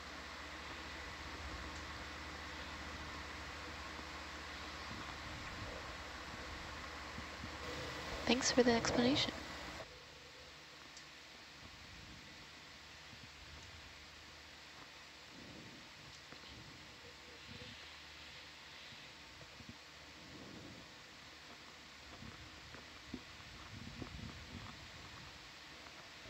You been on the back deck yet to hook up at Atalanta? Me? Yeah. The one that's coming up? Yeah. No, I've been or in here. releasing it? No, I've been in here doing work or sleeping. It's on my list if I can. But I also don't want to be in the way. You're only in the way if you fall over. If I fall over, yeah.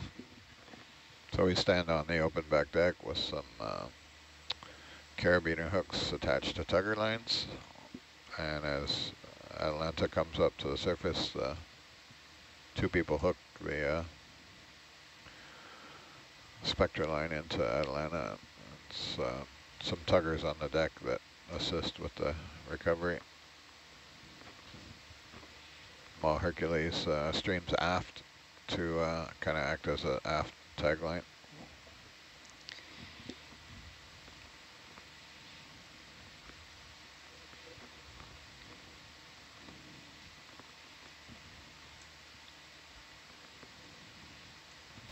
Thanks for that visual.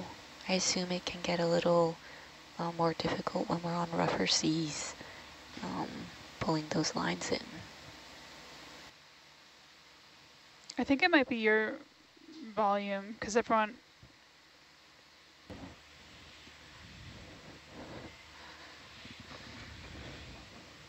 Oh, really?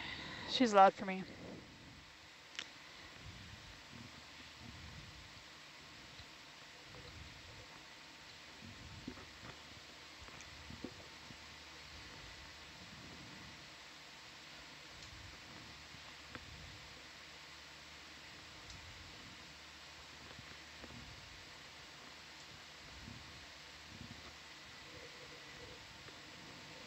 You would think in this day and age we have technology to actually hear each other in the control room. Sitting like a foot and a half apart from each other. Yeah, without requiring a video engineer to constantly adjust the sound levels. But then it would be no fun for you, Adriana. I was going to say, do you not want me here? what would you do if you didn't have to constantly tweak the listen to you telling me to zoom. Calling her the wrong name. yeah, that too. yeah, I'm horrible with names.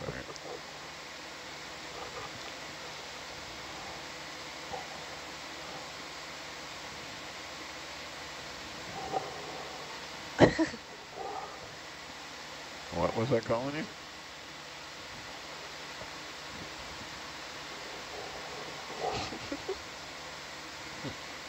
At least I'm trying. Usually it's just, hey you, Atalanta. Bridge nav.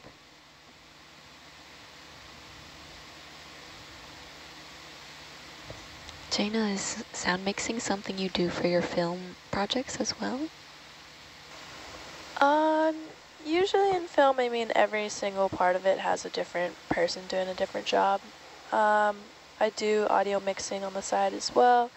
Um, it's not particularly what I'm interested in, um, but when a job comes up and I'm available, I also do some audio mixing, but yeah, not my favorite thing to do. I'm sure it's helpful to be like a jack of all trades though, it sounds like. Oh yeah, absolutely. So what is your favorite um, component then usually of a project? Uh, I like to be behind the camera, Ooh. holding the camera, pressing record. Cool, like getting the framing, I guess, mm. and the shots and like um, like the color, I guess, mm -hmm. the mm-hmm. color grading yeah. and all that stuff, cinematography, right? Yep, absolutely. That's awesome.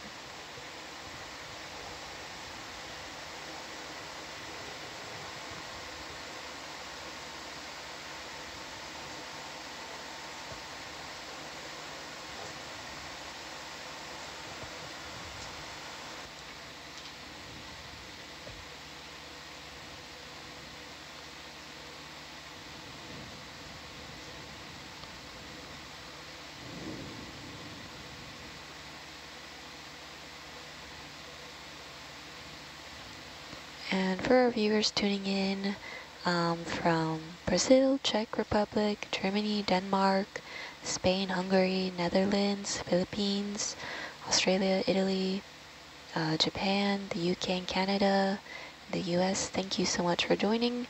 We're um, almost to the summit of this unnamed seamount, all the way in the most um, northwestern uh, area of Papahanaumokuakea. Um, so we started the dive um, at the bottom of this seamount where we observed lots of large corals and um, some striking dramatic geological features. And then we've been moving up um, slowly but surely towards the summit. And now we're kind of focusing on getting to that final waypoint um, and then bringing the ROVs up. And um, on this last part of our journey. So far we've seen some pretty amazing stuff. a Dumbo octopus earlier, uh, shark came into the frame briefly. Um, so definitely we're sighting some different kinds of creatures um, up here in the um, top of this seamount.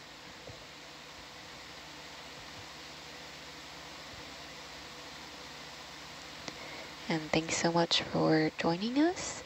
Um, be sure to check out the different camera views um, to see if you can spot some different things from Atalanta's view versus Hercules, um, and let us know if you see anything.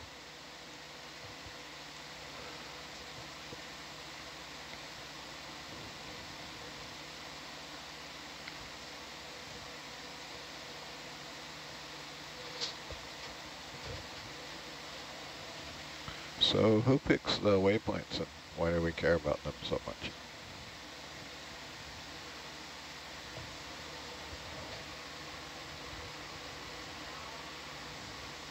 Um, Mia, if you're explaining, can you?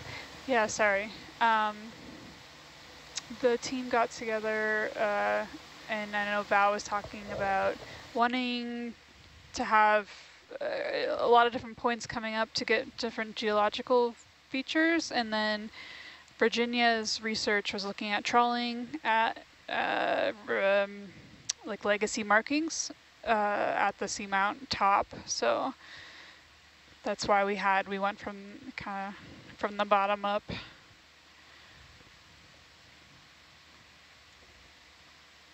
So a bunch of scientists walk into a room. Yeah, and then they throw at a map. They throw darts at a map, and wherever they land, that's where we go.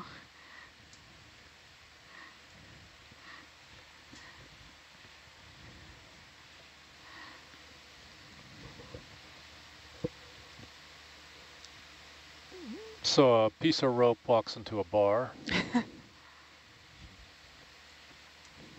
says, give me a beer. And the bartender says, can't give you a beer.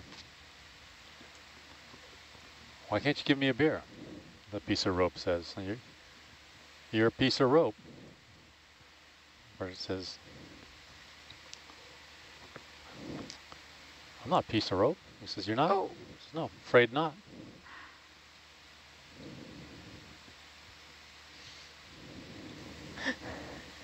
oh, afraid not. Okay, yeah, yeah I got it. oh. I got it. I was about to say, was there a bunch of... yeah. No, no, it's a true story. I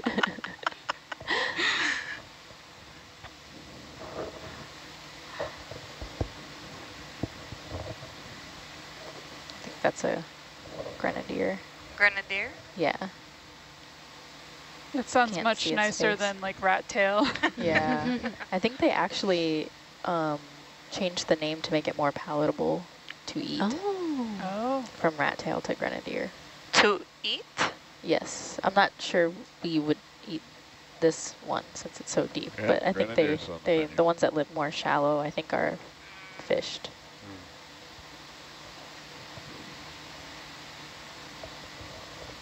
Hmm. Doesn't seem like a very effective fishery.